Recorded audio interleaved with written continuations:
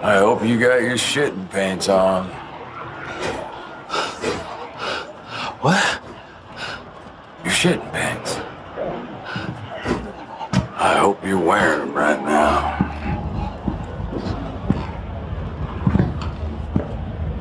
Because you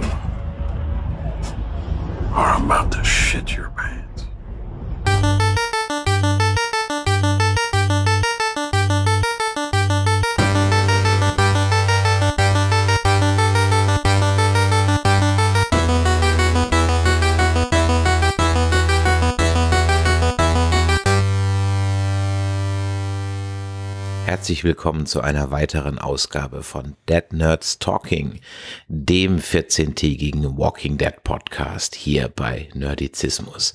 Mein Name ist Chris und mit mir dabei Nerdizist Michael. Hallo. Aloha. Ich weiß gar nicht, wie ich die Folge oder diese Folge heute anfangen soll. Oftmals stellt man ja solche Folgen irgendwie unter ein Motto. Ich überlege Hm. mir das noch. Und während ich das überlege, möchte ich nur mal kurz darauf hinweisen, was euch hier erwartet. Das hier ist ein Podcast, bei dem wir alle 14 Tage über die aktuelle Staffel von The Walking Dead sprechen. Ihr könnt uns Feedback dazu geben, und zwar auf nerdizismus.de auf der jeweiligen Folge, auf Facebook, Twitter, Instagram oder YouTube. Jeweils einfach nach dem Stichwort Nerdizismus suchen. Da könnt ihr uns dann finden. Verpasst auch keine Folge mehr, wenn ihr uns bei iTunes abonniert. Da könnt ihr nach Dead Nerds Talking suchen oder nach Nerdizismus. Wir werden demnächst die Feeds sogar noch aufspalten, aber dazu in einer anderen Folge mal mehr. Ja, Michael, jetzt, wir haben wieder mal zwei Folgen, Folge 5 und 6, die heute anstehen. Und Aha. nachdem wir in unserer ersten Folge also richtig gerantet haben, in der zweiten Folge uns ein bisschen zurückgenommen haben. Das ist ja schon die vierte, die dritte Folge jetzt. Und jetzt in die dritten Folge müsste man jetzt ja eigentlich irgendwie mal einen neuen Weg einschlagen. Und Ja, du so hast ein Mittelweg. Genau, du hast gerade im Vorgespräch gesagt, du fandst die fünfte Folge sogar richtig gut und die sechste so richtig schlecht, was dann ja praktisch wieder ein Mittelweg wäre, denn Plus und Minus, ja, kannst du dir dann überlegen, was dann dabei rauskommt, aber das gibt auf jeden Fall null, womit wir dann wieder in der Mitte wären.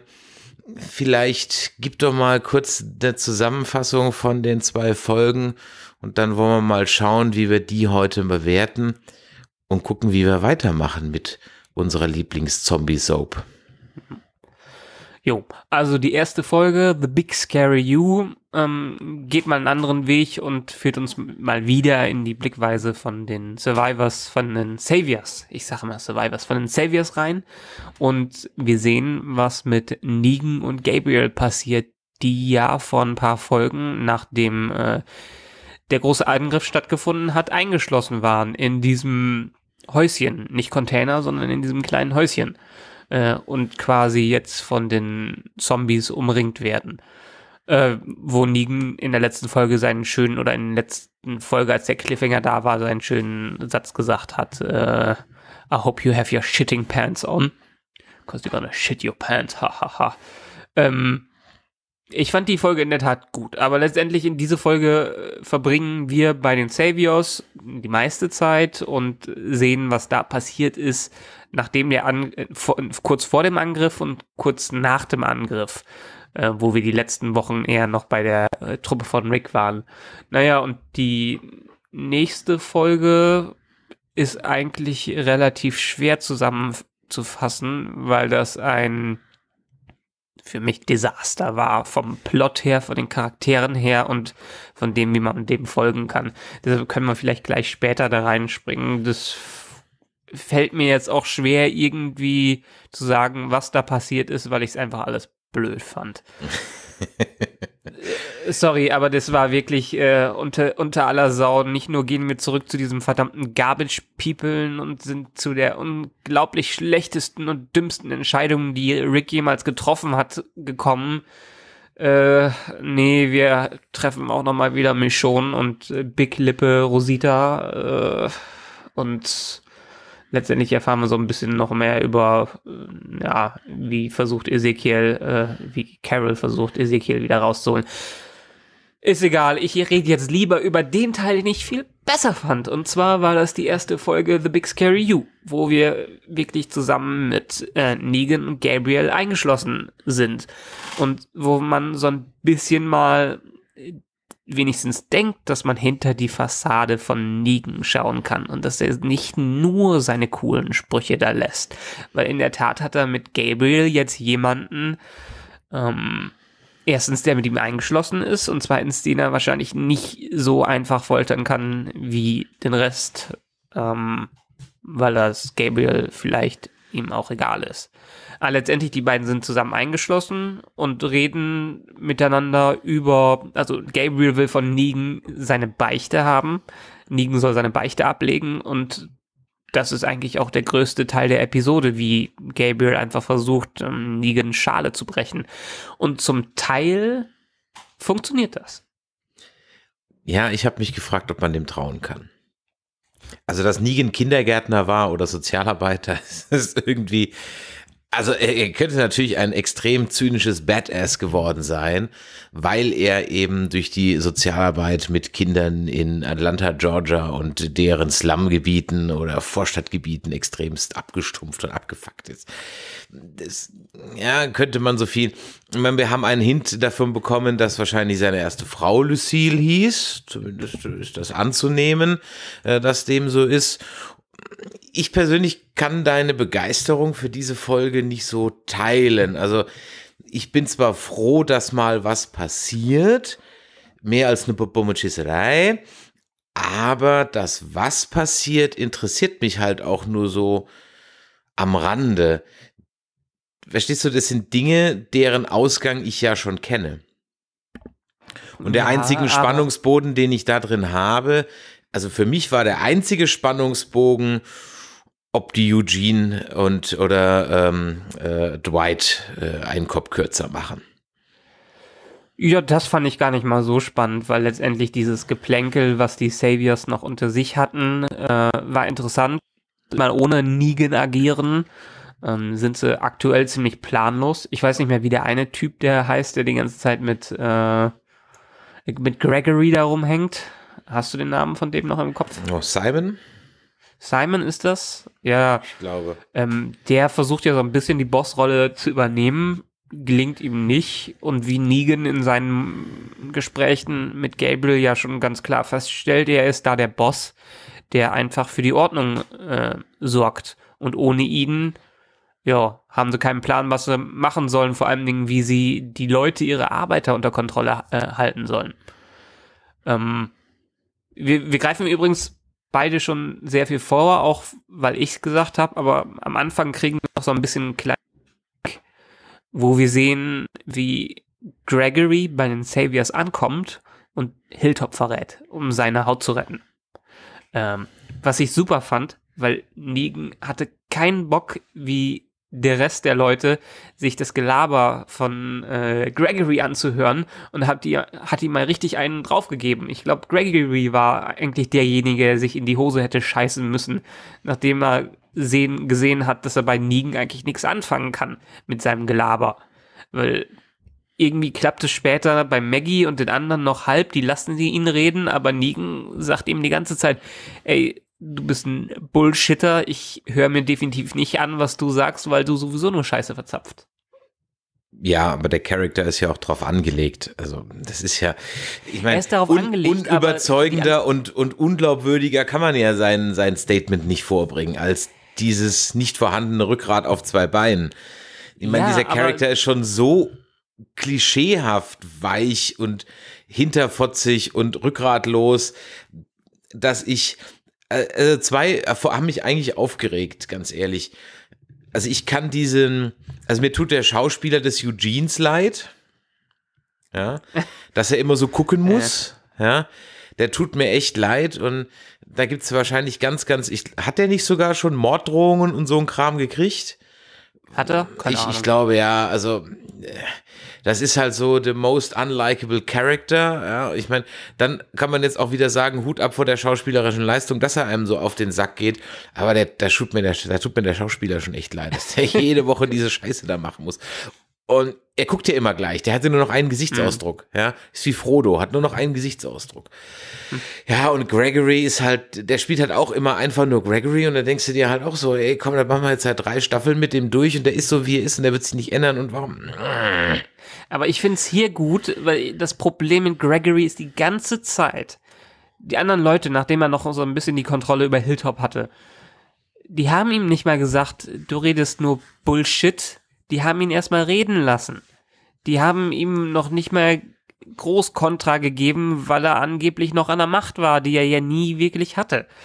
Ähm, das war so unlogisch, dass der die ganze Zeit immer noch in seinem Häuschen saß und machen konnte, was er wollte, mehr oder weniger, auch wenn er es nicht wirklich gemacht hat. Die anderen hätten ihn schon längst rausschmeißen sollen.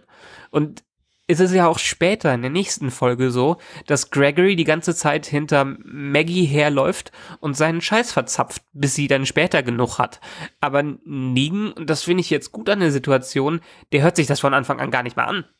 Er sagt, hey, du brauchst nicht mehr weiter labern, weil ich sowieso kein Wort von dem glaub, äh, was du mir erzählst. Und das haben die anderen alle nicht gemacht. Und das fand ich jetzt das Erfrischende an der Szene. Ja, okay, in dem Punkt gebe ich dir recht.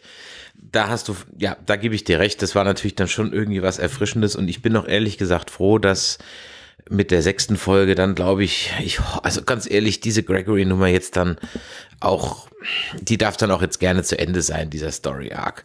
Der bringt nichts mehr. Ich wüsste nicht, gib ihm noch irgendwie einen coolen Tod und dann ist gut. Also brauche ich nicht mehr.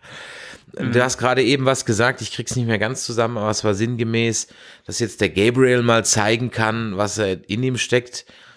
Das würde mich dann doch wieder überraschen weil, naja, der hatte war jetzt auch nicht gerade das Rückgrat in Person. Interessant, wie er sich nie genähert, ja. Aber hast du verstanden, warum der dann krank wird? Wird der gebissen? Habe ich das irgendwie nicht mitgekriegt? Nee, das habe ich am Ende auch nicht verstanden. Warum Für ist der denn auf einmal ein krank? mehr eine Panikattacke, die er da hatte. Okay, das war irgendwie schauspielerisch nicht eindeutig zu definieren, was er eigentlich jetzt hat. Also Naja, ich dachte, äh, er ist aber, aber letztendlich, ich meine, auch mit, äh, auch mit Gabriel, ähm, der hat äh, vorher auch viele unlogische ähm, Entscheidungen getroffen und äh, der hätte auch viel mehr eigentlich von den anderen bisher drauf bekommen sollen. Aber bei ihm sieht man in dieser Folge, dass er es wieder gut machen will, dass er wenigstens für sich seinen Weg gefunden hat als Priester, der jemanden, der versucht, den Menschen das Leben einfacher zu machen und ihnen ihre Sünden zu vergeben, egal wie logisch oder äh, es ist oder nicht, das ist halt die typische Ansicht eines Pastors, eine, eines Priesters. Ähm, und er hat wenigstens für sich jetzt den Weg gefunden und den versucht er jetzt konsequent bei Ligen einzusetzen. Und ähm, früher war er immer, hat man immer wieder die Situationen gesehen, wo er ähm, dann den Hasenfuß gespielt hat und dann das nicht gemacht hat, was er vorher angekündigt hat. Und hier äh, hat er mal die Chance, sich entsprechend zu beweisen und führt es auch durch. Vielleicht auch, weil die Situation so ähm, unausweichlich war. Ja, aber ein Hasenfuß ist er doch im Grunde genommen immer noch. Wenn, deswegen, weswegen macht er das denn? Weil er Angst hat, einen sinnlosen Tod zu sterben. Also hat Ja. er ja davor Angst und deswegen aus seiner Angst heraus äh, möchte er ihm halt dann die Beichte abnehmen. Okay. Da wird er auf Ja, einmal wieder. genau ich meine, der hat ja, aber verstehst du, der hat, der Punkt ist, der hat die ganzen letzten 20 Folgen nichts Priesterliches gemacht, seit die von der Kirche weg sind. ja. Ja, aber genau das ist ja die Sache, dass er jetzt endlich mal so handelt. Und ich würde ihn jetzt in der Tat nicht mehr als Hasenfuß bezeichnen, ähm, weil ich glaube, ich nehme es ihm jetzt ab. Einerseits ist es natürlich so ein bisschen, um seine Haut zu retten. Andererseits nehme ich es ihm ab, dass er wirklich versucht, mit Negan, was bisher so keiner wirklich gemacht hat, in eine Kommunikation zu treten ihm irgendwas abzunehmen und zu verstehen, wieso Negan so drauf ist und vielleicht ihn auf den richtigen Weg zurückzuführen, was immer auch dieser richtige Weg ist.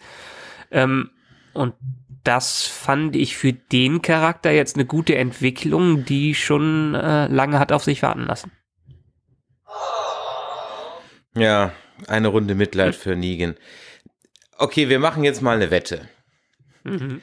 Kaufst du Negan die Nummer ab? Ja oder nein? Du darfst als erster entscheiden, ich nehme das Gegenteil. Jein. also einerseits, ähm, einerseits ein bisschen, ein bisschen Fünkchen Wahrheit wird wahrscheinlich drunter sein, weil er seine Kontrolle, äh, so ein bisschen die Kontrolle über sich verloren hat in der einen Szene. Ähm, andererseits wird wahrscheinlich immer noch viel Bullshit dazwischen sein. Also, Also, so ein Quäntchen Wahrheit könnte da mit drin sein. was, die Frauennummer oder die mit den Kindern? Die Frauennummer und vielleicht die Kinder. Ja, ich meine, der ist ja nicht sonst früher Sozialarbeiter gewesen. Das habe ich gerade erfunden.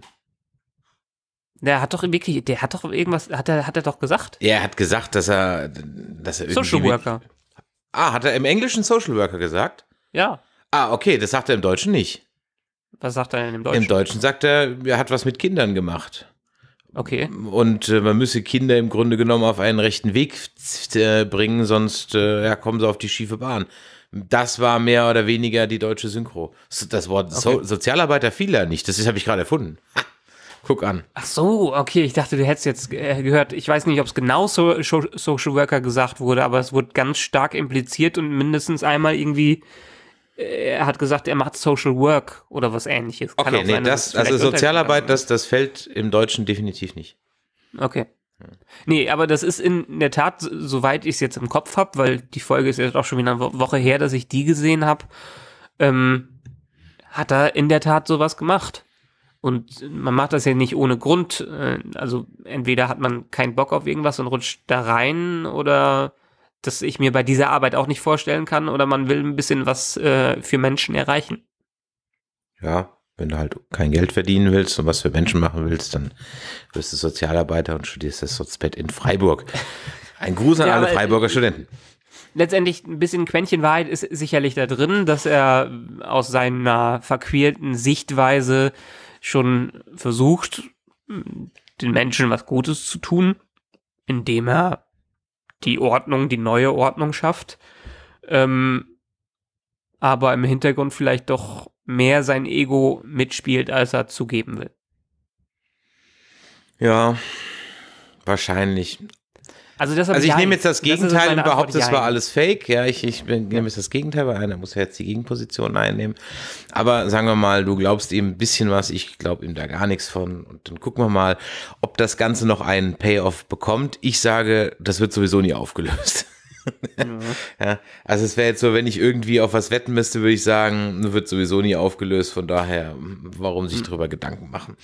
Wo ich mir dann allerdings doch schon etwas Gedanken gemacht habe, war diese völlig sinnlose Schlägerei zwischen Rick und Daryl.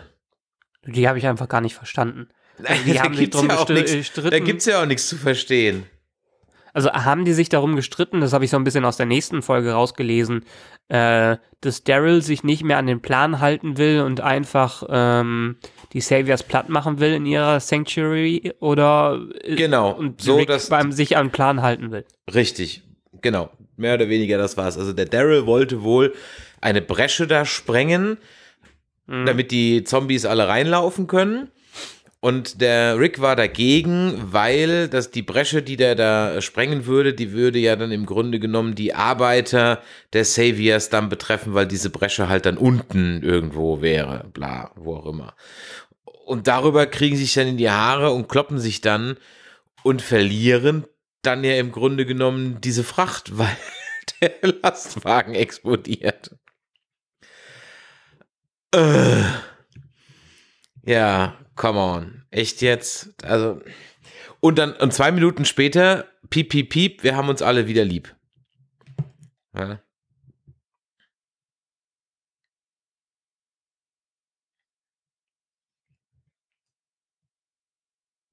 Achso, ich habe mein Mikro ausgehabt. Ha, ha, ha. Ähm, ja, ich habe gesagt, nee, die sind, die sind halt nicht einer Meinung dann später wieder, weil die gehen halt getrennte Wege. Ja, gut, Ähm, aber sie, die aber, sind, äh, ja, angepisst aber, aber aufeinander. der, der Daryl kann dann seinen Kram halt durchziehen. Äh. Ja, äh, Muss nicht so heißen, dass er den durchziehen kann. ja, doch, macht er Also, doch jetzt. Ja, macht er jetzt, aber vielleicht hat Rick gedacht, dass er es sich jetzt nicht mehr traut. Ohne die Waffen. Hm. Das habe ich auch nicht so ganz gerafft, ob die Waffen jetzt dann weg sind. Und was für blöde Waffen waren das überhaupt? Ging es jetzt um diese Browning-Gewehre? Weil in der Folge 6 geht es ja dann doch wieder um Panzerfäuste, beziehungsweise da findet die dann eine Panzerfaust. Ja. Äh. Also es scheint ein Waffenarsenal gewesen zu sein, wie, ähm, ja, halt, ich kenne mich jetzt mit Waffen nicht so aus. Brown, äh, diese Maschinengewehre, die ja in dieser Welt im Prinzip fast wie Atombomben sind, weil man kaum eine Chance dagegen hat. Ähm, ja. Von daher.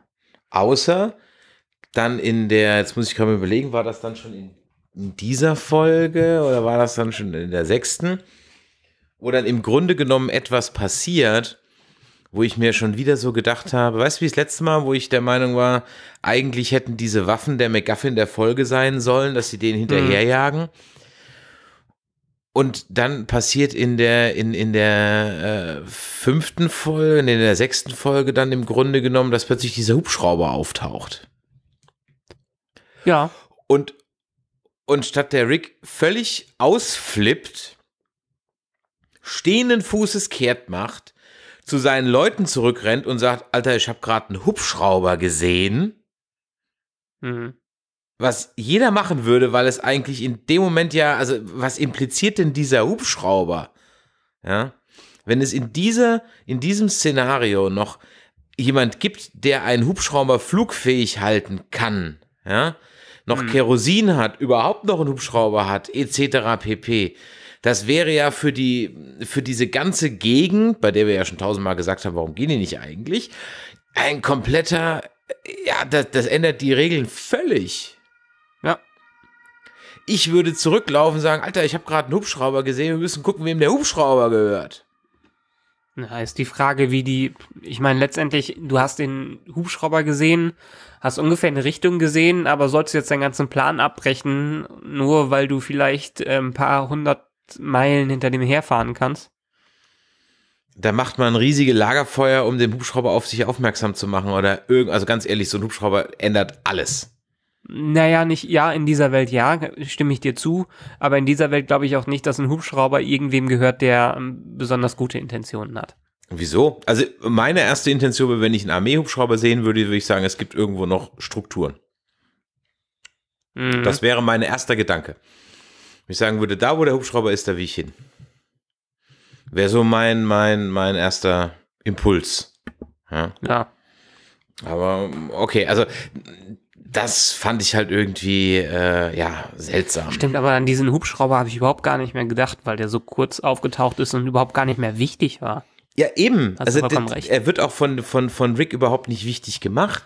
Stattdessen rennt er dann zu diesen komischen Schrottplatzleuten. Und das war ja wohl, glaube ich, das, was die ganze Woche mir die Leute erzählt haben mit der dümmsten Idee ever. Ja, ja? Das, das ist so bescheuert. Ich meine, man war doch froh, dass man diese Idioten endlich los war im letzten Finale. Also ich meine nicht nur, dass die schlechte CGI-Effekte auf ihrem Schrottplatz haben, nein, sie reden in irgendwelchen abgehackten Sätzen, wo keiner nachvollziehen kann, warum ist innerhalb von fünf Jahren die verdammte Sprache von denen so degeneriert, dass die äh, keinen kompletten Satz mehr bilden können und dass die vor allen Dingen so bequem auf so einem scheiß Schrottplatz leben, wie sie jetzt leben. Und wieso, wieso zum Teufel geht Rick da wieder hin, der betrogen worden ist von denen, angeschossen wurde von der Frau, wo sie komplett recht hat, wieso der nochmal dahin kommt, muss auch bescheuert sein und versucht nochmal wieder ein Bündnis äh, zu schnüren. Wenn jetzt am Ende ein Masterplan daraus kommt und die, der irgendwas mit sich dabei hat, obwohl er jetzt nackig im Container rumsitzt. Ähm, vielleicht hat er was in seinen Analröhren versteckt, keine Ahnung. Aber das ist auch die schlimmste Entscheidung, da überhaupt wieder hinzugehen, mitten in der Ausführung des Plans, wo die Saviors im Prinzip auf dem Trockenen sitzen und nichts machen können. Wieso geht man zu diesen scheiß Schrottplatzleuten hin? Also das ist doch die viel mehr mit ihrer Kunst beschäftigt sind, alles mit allem anderen. Word. ja, da habe ich nichts mehr hinzuzufügen, ja. Ich habe es auch nicht verstanden. Aber erinnerst ja. du dich noch an dieses eine, ja, Meme, ich habe keine Ahnung, Gerücht oder Fantheorie mit dem Außerirdischen und den Schrottplatzleuten? Nein. Weil man da in diesen, da gibt's ja diese eine schlechte CGI-Szene, wo der Rick da oben auf diesem Schrottplatzhügel steht Naja, und dann genau. so. Und da sieht man im Hintergrund, und da gab's so diese Streitereien, ob das ein Vogel ist oder ob das ein UFO ist, weil irgendwas fliegt da lang. Mhm. Da hatten wir es auch, glaube ich, in einer Folge der siebten Staffel. von. Ich sage dir, da wurde der Hubschrauber schon angeteasert. Ja. Keine Ahnung, nee. habe ich gerade erfunden. Aber ja, verstehst du, das ist was, was ich nicht verstanden habe. Also, ich habe nicht verstanden, warum er da hingeht. Auch irgendwie, ich meine, mit welcher Bedrohungslage denn? Also, ich meine, die, die haben ja vollkommen recht. Von daher, also, ich glaube, ich möchte daran glauben, dass er einen, einen Plan hat. Ja, ich möchte Dass auch dran glauben, dass er aber so eine- wie die Serie bisher verlaufen ist, glaube ich nicht mehr an einen Plan. Also, Also ich möchte daran glauben, dass er einen Plan hat und dass er das äh, irgendwie halt äh, deswegen dann dahin gegangen ist. Ich verstehe die Nummer mit dem Hubschrauber nicht und ich kann auch Karl überhaupt nicht verstehen. Weil er zu dem Typen hingegangen ist, den die in dem Flashback oder in dem Side-Flash-Ding. Ja, also Äh, ich bin den mal gespannt. Ich bin, ich bin mal gespannt, ob der noch irgendwie wichtig wird, weil ich hatte den schon mehr oder weniger völlig vergessen. Hm.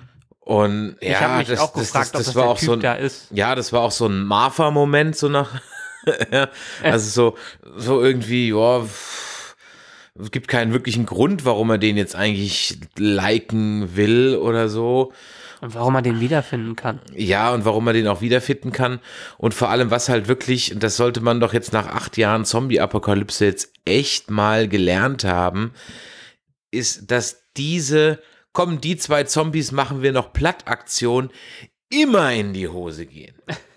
Die gehen Natürlich. immer in die Hose. Ja? Plötzlich kommen doch noch mal zehn irgendwo her. Es ist immer so.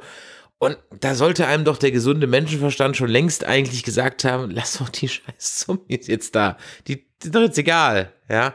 Aber nein, weil er seiner Mutter ein Vers Versprechen gemacht hat, das hilft ja dem dann da auch. Also da habe ich den Karl eigentlich ehrlich gesagt nicht verstanden. Das fand ich jetzt nicht so störend. Ähm, ich konnte es nachvollziehen, dass er vielleicht noch nicht ganz so abgehärtet ist wie äh, Rick und Co., dass er vielleicht mh, seine jugendliche Empathie noch beibehalten möchte und die Hoffnung stirbt zuletzt und so weiter und so fort. Ich fand es jetzt eher pointless, warum der da hingegangen ist. Ich fand es nicht, nicht nachvollziehbar, sondern einfach nur äh, zwecklos. Ja, die Frage ist halt, wird der nochmal wichtig, der Typ? Müssen Weil- wir jetzt die Comicleser fragen. Ja, das weiß ich. Ich weiß es jetzt ehrlich gesagt auch nicht mehr, ob der nochmal wichtig wird. Keine Ahnung, aber. Ja, was haben wir denn noch so für, für Aspekte? Ja, also im Grunde genommen, was ich ganz interessant fand, auch wenn sag ich, man hat endlich mal einen zeitlichen Horizont von der ganzen Nummer. Ja. Denn in Ist alles in einem Tag. Anderthalb Tage, genau. Ja. Ja. Gibt zwar jede Menge Anschlussfehler, also auf einmal ist Nacht in Hilltop und dann wieder Tag bei Michonne und dann ist wieder Nacht in Hilltop, dann ist wieder Tag in Hilltop. Also es ist ein bisschen, äh, passt irgendwie nicht so ganz, aber okay. Dann wissen wir jetzt, dass der Jesus halt ohne Absprache diese Gefangenen genommen hat. Ja, okay. Ähm, die ganze Nummer erscheint mir halt irgendwie, also andersrum ja, ich habe jetzt verstanden, was sie wollten. Also, dass sie praktisch das, das Sanctuary jetzt äh, einmal mit Zombies umkreisen. Mhm. Das kann man jetzt clever finden oder nicht. Ist vielleicht nicht die gerade die dümmste Idee. Aber das hätte ich halt erzählstrukturtechnisch und filmtechnisch komplett anders aufgezogen. Ja. Komplett Also anders, weil so habe ich halt, so habe ich das jetzt ja aus Nebensätzen mir zusammenreimen müssen. Ja, es liegt so ein bisschen an der Struktur und dadurch, dass man es einfach nicht binge-watchen kann. Beziehungsweise, dass wir es nicht binge-watchen. Vielleicht irgendein Hörer, der das in ein paar Jahren hier hört, haha, in ein paar Jahren, ähm, kann es vielleicht besser nachvollziehen. Ich fand, ja, ich fand's okay. Ich meine, man hat die letzten äh, paar Mal ja schon mitbekommen, dass die erstmal ähm, die Zombie-Herde zum Sanctuary geführt haben, damit der Hauptteil der Saviors nichts tun kann und damit die die kleinen Basen von denen platt machen können. Was mich nur gewundert hat, ich hatte immer den Eindruck bisher, dass die Saviors viel mehr kleine Stützpunkte haben, als jetzt nur diese zwei, drei, die jetzt übernommen worden sind.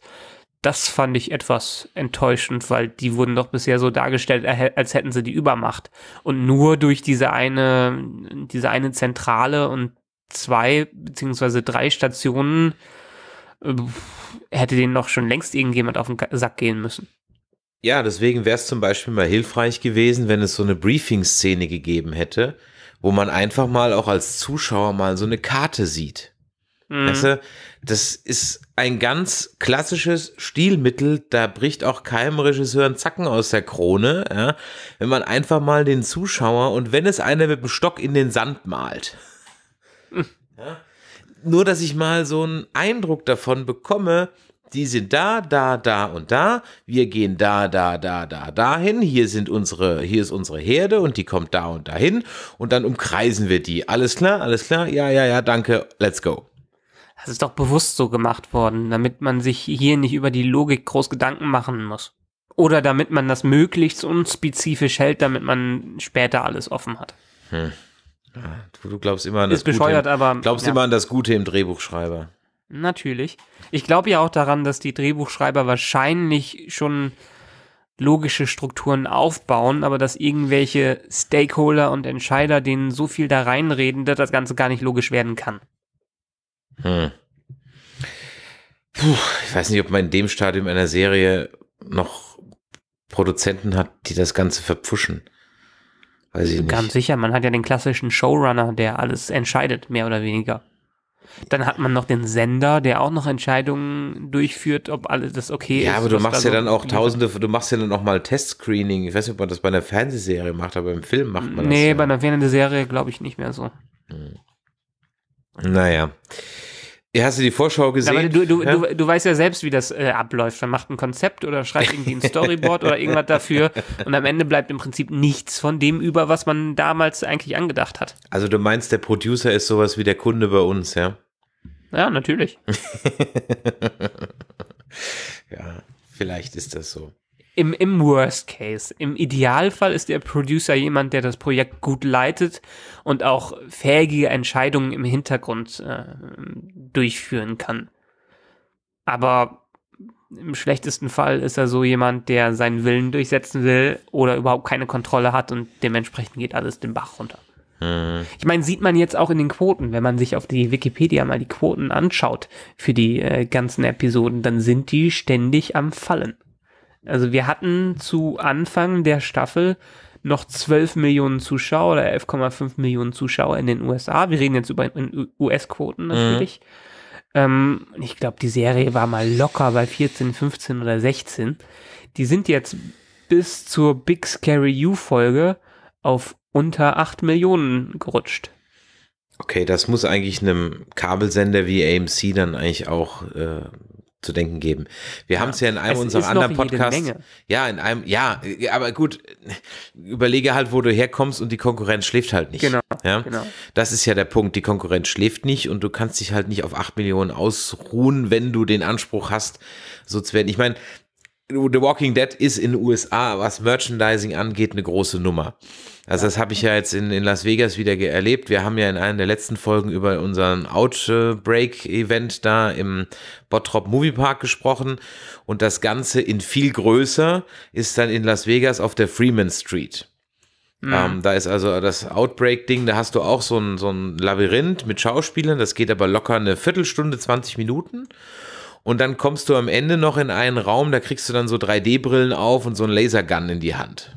Mm. Und bist dann in einem Raum, wo irgendwie drei von vier Seiten halt mit, äh, äh, wo halt anpro projiziert werden und du kannst dann da drauf ballern. Ich habe es nicht gemacht. Wir haben uns für die Zipline entschieden auf der Freeman Street war 10 Euro, 10 Dollar teurer, aber ich glaube, war einfach cooler, zwei Kilometer durch die Luft zu fliegen. Mhm. Aber beim nächsten Mal ich das vielleicht, wenn es dann noch da ist. Aber was jetzt das Merch angeht, in allen Läden, also das hat Star Wars oder, oder, oder Marvel oder DC-Niveau. Also da steht dem mhm. nichts nach. Ja? Also egal, wo du hingehst, ähm, die Anzahl an, an äh, Walking Dead Fanartikeln ist in etwa die gleiche. Die kannst du aber auch nur hochhalten, wenn die Serie erfolgreich ist. Ich habe jetzt gerade mal in den Staffeln zurückgeschaut.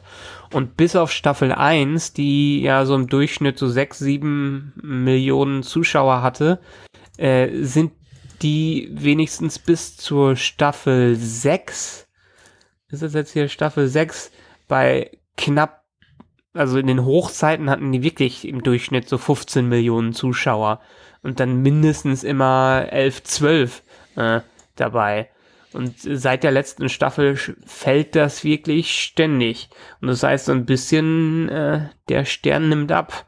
Und wenn das so weitergeht, ähm, werden sicherlich, also weil, weil du gerade auch gesagt hast, es ist eine Cash-Cow für die und weil man will weiter Merchandise verkaufen, Vielleicht wird im schlimmsten Fall halt der Showrunner äh, rausgeschmissen und ein anderer wird wieder eingesetzt.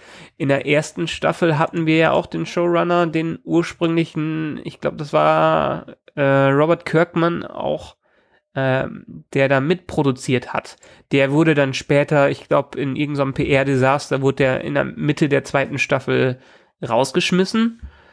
Ähm, und das kann durchaus wieder passieren, weil so ein Showrunner viel Kontrolle über eine Serie hat. Siehe Brian Fuller bei Star Trek Discovery. Genau. Gut, wir sind leider nicht dabei. Ich wäre ja manchmal ganz gerne dabei. Wie viele Folgen haben wir noch in dieser Staffel? Ich glaube, die haben mal wieder, müssten 16 insgesamt haben. Das war jetzt die Sechste. Folge 5 und 6. Äh, 7 und 8 haben wir mindestens noch bis zum 10. Dezember und insgesamt consist of bla bla bla. 16 Episoden haben wir mal wieder. Werden wir wieder haben. Mit, ich schätze, mit einer kleinen Winterpause dazwischen.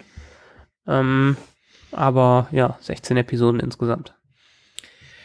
Glaubst du, dass es gibt ja ein neues Cover von den Comics, das hast du bestimmt auch gesehen, wo man diese zwei, ich sag's mal, ABC-Abwehr, in ABC-Schutzanzügen Soldaten sieht.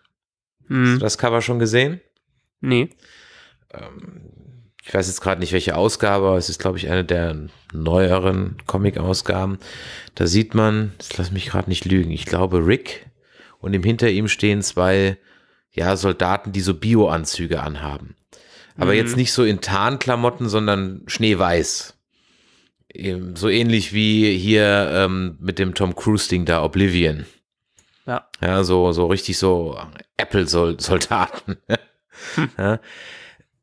ja. in den Comics haben wir ja auch letztes Mal schon gesagt, gibt es ja auch Winter. Richtig, genau, da gibt es ja auch Winter und da gibt es ja auch jetzt diese Whisperer. Also mir würden jetzt seit drei Staffeln, wird mir erzählt, die Whisperer werden angekündigt. Ich kann sie nicht erkennen.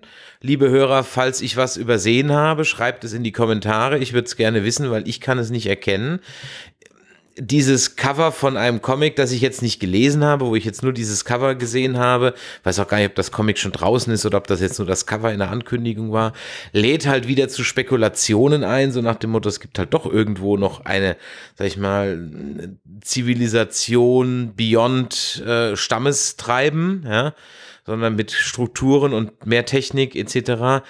Vielleicht zahlt der Hubschrauber, den wir gesehen haben, darauf ein.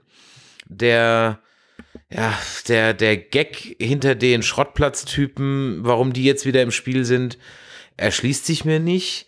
Dann kann ich auch die Mädels vom Strand wieder zurückholen, so ungefähr. Ja. Ich habe ich hab ähm, übrigens gerade Mist erzählt.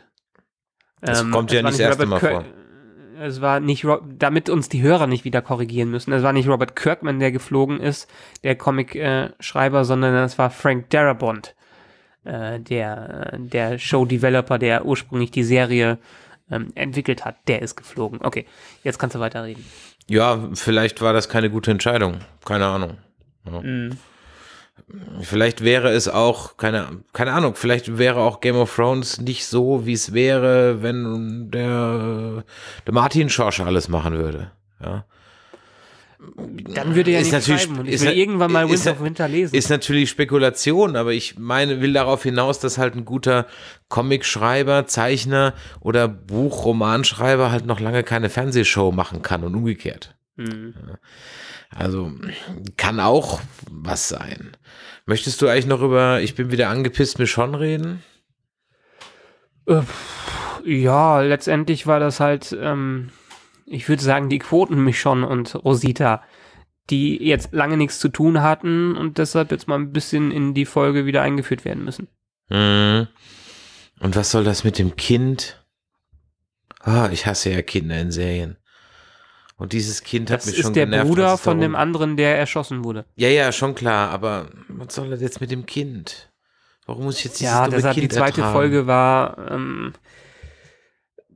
die fand ich auch alles mehr oder weniger durch absolut durchwachsen oder Mist. Die einzige Szene, die hier wirklich Spaß gemacht hat, ist, als Rosita den, äh, die Panzerfaust abgefeuert hat. ja, mit einem ganz schlechten CGI vorher, aber okay, egal. Gut, pass auf, ich, ich, ich bin jetzt, glaube ich, an einem Punkt. Ich habe mich schon vor zwei Folgen ausgekotzt, letzte Woche noch ein bisschen, heute hast du dich ein bisschen in Rage geredet. Ich, ich, wie gesagt, ich habe ja vor ein, zwei Folgen schon die Theorie geäußert, dass die einfach alle wissen, dass das ganz großer Käse ist und jetzt einfach nur noch ihren Spaß haben damit. Ja. Ich hoffe, also ich gebe jetzt mal meine Prognose ab. Ich, prog ich prognostiziere jetzt mal Dinge. Ähm, die, das, was der Negan erzählt hat, spielt keine Rolle mehr. Es wird völlig wurscht sein. Ähm, und wenn es noch eine Rolle spielt, dann in einem völlig peinlichen Martha-Moment. Also, dass dann irgendwie Rick da steht und, äh, und, und, und Negan steht über ihm und will ihm mit Lucille die Fresse einhauen und dann sagt irgendwie Rick, aber denk doch an Lucille und dann zögert er einen Moment, überwältigt ihn. irgendwie so ein Unsinn. Ja. nee. Das glaube ich ehrlich gesagt, das wird nicht passieren. Nein. Wir haben ja schon, hatten, wir- hatten wir in den letzten Folgen schon irgendwann mal gespoilert, was mit Negan passiert. Ja, ich weiß, aber es muss ja nicht, ist ja nicht gesagt, dass es so bleibt, dass sie sich daran halten. Ich meine, dann kann er ihn ja in diesem Moment der Schwäche überwältigen. Das wollte ich damit sagen, weißt du? Okay. Äh, Ja. Darauf wollte ich hinaus. Ich prognostiziere, ähm, dass, ähm, dass Rick keinen Plan hat. Doch, ich prognostiziere, dass Rick einen Plan hat. Der zwar völlig abstrus ist, ja, aber Rick hat, ein- hat es jetzt, es war nicht Dummheit, dass er das gemacht hat. Also in der Serienwelt war es keine Dummheit. Ja, Wahrscheinlich nicht. In der Folge war es absolut beschissen Genau, dumm, Folge- aber genau. äh, deshalb habe ich gesagt, ich, ich vermute, es war ein Plan dahinter. Ich hoffe, es war ein Plan dahinter. Äh, ich glaube aber nicht an einen Plan. Dann prognostiziere ich, dass Gabriel sich für irgendetwas opfern wird und diese Staffel nicht überlebt. Wurde ja übrigens auch angekündigt, soweit ich das gelesen habe, Das- dass ein paar Hauptcharaktere draufgehen werden. Genau, und der ist meiner ganz oben, ganz top of the list. Ja. Ja. Dann glaube ich, ähm, dass. Eugene wird draufgehen, könnte auch sein. Nee, glaube ich nicht. Nicht? Nee, also ich, Meinst du, die wollen den noch da haben? Ja, Okay. Glaube ich, irgendwie so als zwielichtigen Charakter irgendwie, der aber eigentlich nur da sitzt und ja, ich meine, der tut mir auch echt leid, dass er nur so ein olles äh, 8-Bit-Telespiel noch hat. Ne? Es wäre viel schöner gewesen, wenn er wenigstens eine Playstation noch hätte. Er ist ja glücklich damit. Ja, er ist ja glücklich damit. Was prognostiziere ich denn noch? Ja, also ich glaube, Eugene, äh, die kriegen raus, dass es Dwight war, dann wird der hops gehen, Eugene wird überleben, der Hubschrauber wird, glaube ich, ich glaube nicht, dass der Hubschrauber eine Rolle spielt, bis er dann eine Rolle spielt. Mhm. Also irgendwie habe ich so das Gefühl, die machen jetzt halt ihren Plan und das läuft jetzt so weiter und der Hubschrauber wird von Rick überhaupt nicht mehr angesprochen, bis er plötzlich landet. Wahrscheinlich. Und- Zum, und- äh, zu, zur Staffelfinale ganz am Ende. Der Krieg ist vorbei, Negan wurde besiegt, ein paar Opfer sind gefallen Genau. und dann kommt die Armee oder was immer das auch Genau. mag. Genau, genau. So, so, so praktisch so wie bei, wie, wie normalerweise Außerirdische landen. ja. Und ich, ich sehe auch die Szene schon vor mir. Sie sind alle in Hilltop, feiern ums Lagerfeuer und trinken ein Bier und dann ist dann irgendwie äh, Rick unterhält sich mit Michonne und sie knutschen gerade oder keine Ahnung was. Und plötzlich hörst du schon un von unterschwellig so dieses äh, Hubschrauber vibrieren, weil eigentlich der Hubschrauber ist ja mörderlaut, den hätte er ja schon viel früher hören müssen. Wahrscheinlich. Und dann drehen sich so alle nach und nach um und es wird still und dann siehst du nur noch so einen Suchscheinwerfer, der in diese Menge reinstrahlt. So endet die Staffel. Könnte passen. Vielleicht landet er noch und es steigen Männer in Schutzanzügen aus. Na, vielleicht. Ja. Aber ich glaube, es wird äh, so enden. So, was sind deine Prognosen? Hast du welche? Meine Prognosen sind, ich habe eigentlich gar keine Prognosen, du hast gerade das ganz gut zusammengefasst. Wir haben ja jetzt noch drei Folgen bis zum Staffel-Halbfinale oder zwei Folgen. Da muss es irgendwie noch abgeschlossen werden, diese aktuelle Storyline. Äh, sei es, dass es einen großen Clash gibt und Negan dann doch wieder kampfbereit ist oder dass Negan vielleicht äh, vorher schon gefangen genommen wird oder dass irgendwas mit ihm passiert. Ich habe keine Ahnung. Ich äh, kann mal wieder nicht schätzen, obwohl es wahrscheinlich das klischeehafteste Klischee aller Klischees sein äh, wird. Ich frage mich nur, weil es wurde angekündigt und in den letzten Tagen auch bestätigt, dass äh, Lenny James, ähm, der Darsteller von Morgan, äh, das Crossover sein wird zu Fear the Walking Dead. Also, dass man morgen in der dritten Staffel, nee, in der, ist das jetzt die vierte? In der vierten Staffel Fear the Walking Dead als äh, regulären ähm, Charakter dabei haben wird. Und vielleicht teast das ja so ein bisschen an, dass eventuell irgendwelche Charaktere von Fear the Walking Dead auch noch mit in die Serie hier reinrutschen. Hm. Aber hatten wir das nicht schon mal gesagt, dass das zeitlich nicht passen kann? Ja, aktuell ist Fear the Walking Dead so ungefähr ähm, erste, zweite Staffel von The Walking Dead. Zeitlich angesiedelt. Hm. Ähm, heißt, mit einer Art Zeitsprung könnten sie das Ganze noch überbrücken, wenn sie jetzt äh, sehen, dass Walking Dead nicht so viel Kohle mehr macht, Fear the Walking Dead auch so einen Boost bekommt wenn du es nicht mehr hinbekommst, wenn die Quoten fallen, dann mach Crossover-Episoden. Dann mach Avengers-Style-Meetups. Dann bring irgendwelche Charaktere von einer anderen Serie rüber in diese Serie und dann generiert das wieder genug Bass, dass mehr Leute da schauen. Hm. Ja, es bleibt spannend. Ich habe gerade zwei große Anführungszeichen in der Luft gemacht. ähm, okay. Ja, eins wird sicher sein wir renten weiter. Ja, wir wollen ja gar nicht renten. Ich würde ja auch mal was Positives sagen. Also ich, ganz aber ehrlich. Habe ich ja jetzt zur ersten Episode. Ja, nee, du, und jetzt ja, aber ganz ehrlich, ich hoffe wirklich, also was der Serie für mich echt nochmal so einen Drive geben würde, ohne dass ich jetzt irgendwie eine Idee hätte, wohin das führt, weil wenn man die Serie kennt, führt es ja immer zum Gleichen. Also ich fände es wirklich cool, wenn das wenn es noch mal irgendwie so eine Regierungsecke irgendwo geben würde. Mhm. Das würde also, dass das, man so ein bisschen das Center of the Disease wieder aufnimmt. Oder ja, aber halt in, in größerem Maßstab. Ja? ja? Dass man auch mal was anderes sieht, dass man auch mal ein anderes, ein anderes Setting hat. Ja, dass man mhm. immer eine Großstadt über ein paar, vier, fünf, sechs Folgen hat, die voll funktionsfähig ist oder wie auch immer. Ja, von mir ja. aus auch, äh, keine Ahnung, Blofelds Festung, ist mir egal, ja. Aber mal irgendwie was anderes. Das Problem an der Sache ist ja, dass auch das ja dann, wenn die Serie weitergehen soll, ja auch zum Scheitern verurteilt ist. Also mhm. egal, was ja kommt, es muss ja weitergehen. Und wenn die jetzt in eine Ecke kämen, wo Friede, Freude, Eierkuchen ist und die Regierung ist, dann muss ja da auch wieder ein Haken an der Sache sein, der die dazu bringt, dass sie entweder rausgeschmissen werden oder sie freiwillig gehen oder wieder eine Revolution anzetteln oder keine Ahnung was weil sonst würde ja nichts mehr passieren.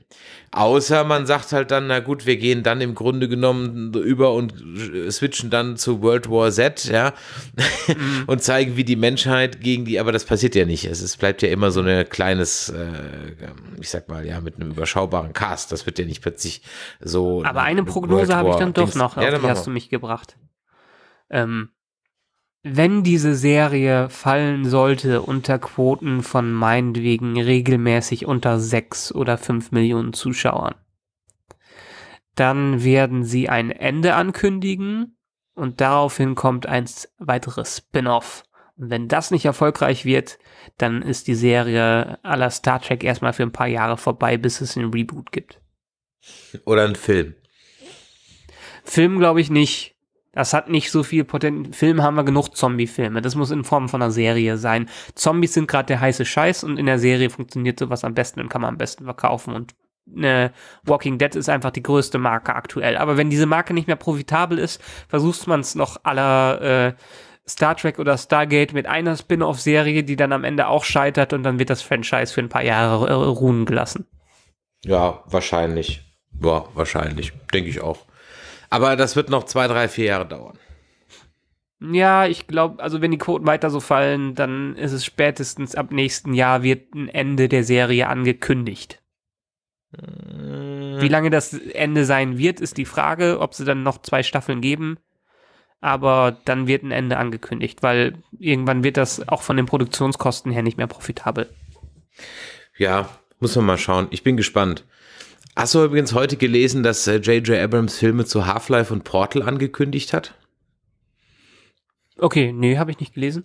Ja, weiß ich ja mal was mehr als du. Ja, da, da bin ich mal gespannt. Viel mehr war es auch nicht, aber äh, das finde ich höchst interessant. Da freue ich mich drauf, um mal kurz abzuschweifen. ja, Ankündigungen sind immer so eine Sache. Es wurde auch damals angekündigt, dass äh, Peter Jackson den Warcraft-Film machen wird. Was auch nie am Ende so gewesen ist. Wurden schon viele Filme angekündigt, die dann in der Development-Hölle stecken geblieben sind. Also sobald man nicht die ersten Trailer sieht oder die ersten ähm, Fotos von der Produktion, bin ich da mittlerweile etwas skeptisch, gerade was Videospielverfilmungen angeht. Ja, ich, also laut Interview sagt er, sie kommen definitiv. Ich bin einfach skeptisch ob der Qualität. Ja. Das, das sowieso. Weil es halt am Ende wieder ein großer Schrott ist. Gut. Ich glaube, wir sind für heute durch. War jetzt ja auch handlungstechnisch überschaubar. Ja wir sind nicht ganz so sehr abgeschweift wie sonst immer, dann bleibt mir an der Stelle nur noch zu sagen, wenn euch diese Folge gefallen hat und auch wenn sie euch nicht gefallen hat, dann Däumelein nach oben oder nach unten in Form eines Kommentars. Am besten bei iTunes und einer Bewertung, da helft ihr uns am meisten mit. Wir hören uns wieder in zwei Wochen. Ansonsten bleibt mir noch zu sagen, Schaltet fleißig ein, empfehlt uns weiter, schreibt uns, was ihr von der heutigen Folge gehalten habt. Und dann hören wir uns in zwei Wochen wieder. Bis dann. Ciao. Tschö.